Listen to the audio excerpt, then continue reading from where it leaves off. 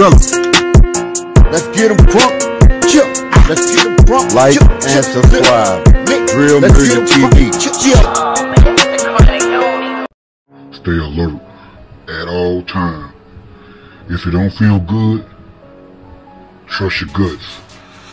You either handle it or get away from it. It ain't worth our lives. pay attention. Always pay attention.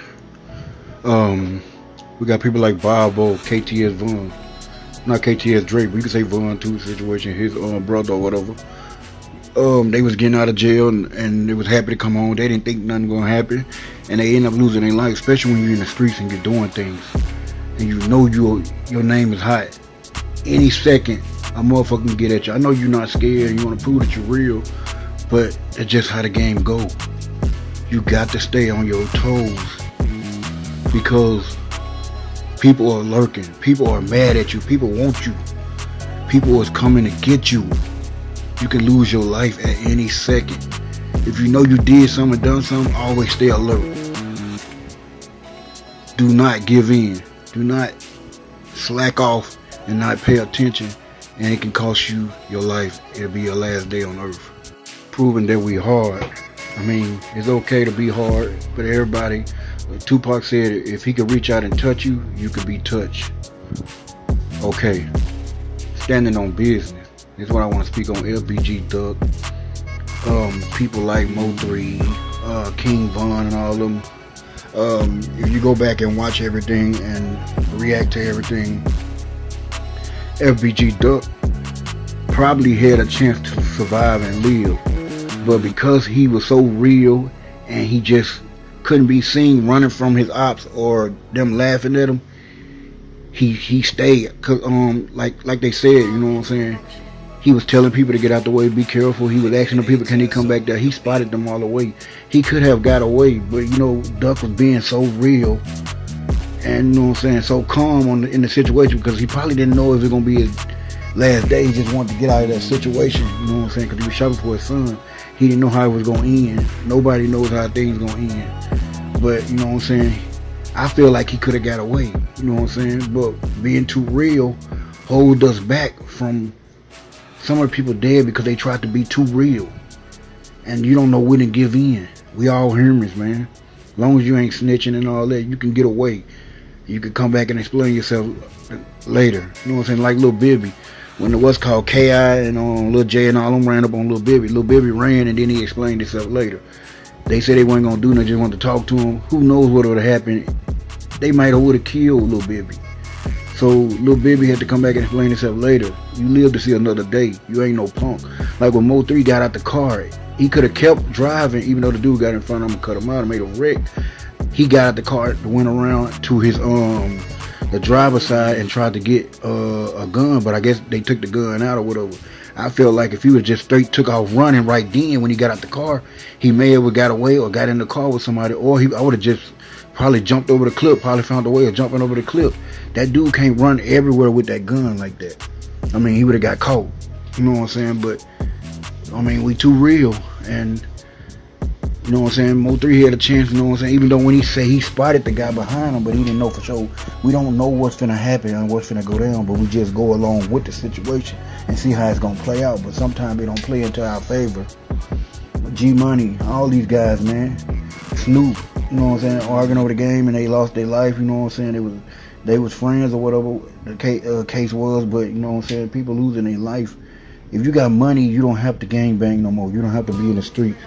You don't have to be out here doing a lot of things, man. Stop letting these people say y'all ain't gangster and all this and whatever. And you read that text, the person you read his text and be like, man, fuck it, I am a gangster. You rich and he probably ain't even got five dollars in his account.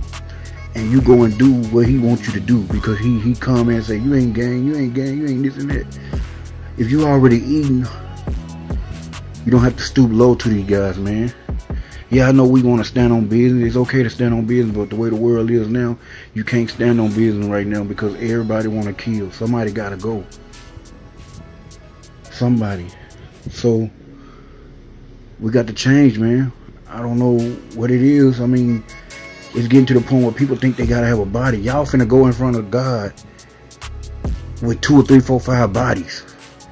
Come on now, what you think finna happen, man? How y'all gonna explain yourself? Some of y'all dying young. Some of y'all dying over something that I'll be embarrassed to go to the Lord to, to know that's what I died out of. You know what I'm saying? How you gonna explain that stuff? Like Master P said, some of that stuff, like you know what I'm saying, when guys getting their tats all over their face when they and all, how you gonna explain that to God? You know, we gotta change, man.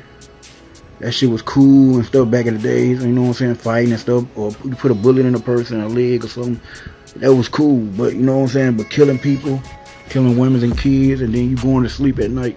It's a lot of people out here still walking the streets today, and they have shot and killed a kid and never been caught. Eating breakfast, going to work, or doing whatever they're doing, getting money, and they have killed a female, old person, kid, and nothing been done about it. You know what I'm saying? Because I tried to be like that one time. I ran down on a dude with some homies and pulled a gun at him and checked him. And I, and I was showing out on him, you know what I'm saying? And in front of him, you know what I'm saying? And then I saw him again at the mall with some more homies. And the guy was pacing. And my homies asked him, what's up to you? Man, what's to you? And he was like, yeah, I'm finna get you. But he was looking at me. I knew what was up. My homies didn't know what was up.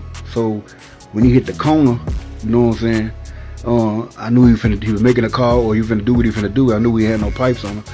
I, he hit the corner and went around in the mall. I told my homies, let's go. And they were trying to like, and when I when we got in the car, I told them what was up. They were like, oh shit. It's like, man, you gotta be careful out here, man. If you've done something to somebody or did something to somebody, man, man, come on now. That person might come back and get you, especially you out here in the streets, man. You gotta be careful out here, man. I'm telling you, man. It's, it's very dangerous, man. That could have been my day. A couple of times could have been my day. But I was blessed to get away and blessed to move around because I use my mind. Like when I know it's finna go down, it's finna go down. Get away from it. You ain't no punk. You live to see another day. You know what I'm saying? And um, that's what a lot of us don't want to do today. All us want to be this and be that, but you know what I'm saying? We costing ourselves our lives. Just like Quavo, you know what I'm saying? That argument, all I know you doing the thing. If that person owed him or he owed that person, should just walked away. They rich, man. But it cost a big situation and a very bad situation and you that little money they was fighting over, they it, don't mean nothing if they to bring Takeoff back. They won't take all back. That little money don't mean shit. Anybody could come out and pay that little money. You know what I'm saying? But see, it wasn't worth it. It was a guy just wanted a body. A lot of people want to prove that they real and want a body. Another person you got to watch out for. They ain't really no killers, but they just want to prove they can catch one. And then they hit a big name. You know what I'm saying? Just like King Von. He could have he he had the life. I mean, he was getting nobody gonna get a second chance like that. Especially after you didn't probably allegedly he probably killed eight nine people. I'm just saying, and to get the life that he got and take care of his family, his family and all of them eating good now. Kayla B and Mama, all of them. Mama finna get paid off. The new album finna get dropped. I mean, a lot of people eating because of their family. But some people don't have to prove that they gangster no more. Von didn't have to prove nothing no more. But he kept doing it. He said in his song, um, I fell back and got my bands up. Still make you put your hands up. I was like, this boy won't never stop. Won't never stop. You know what I'm saying? And Duck was just too real. Melly was too real. Melly, he should have been around his own crew. I just feel like a lot of these guys would have been alive if they wouldn't have they was they they died because of their reputation, even though they had enemies and ops, but proving that they this and that, it's a reason why a lot of these guys in the grave they could have walked away, and that's the point I'm, I'm sending in this in this documentary I'm doing, part one. Uh, standing on business sometimes can cost us our life. Rest in peace to all the rappers.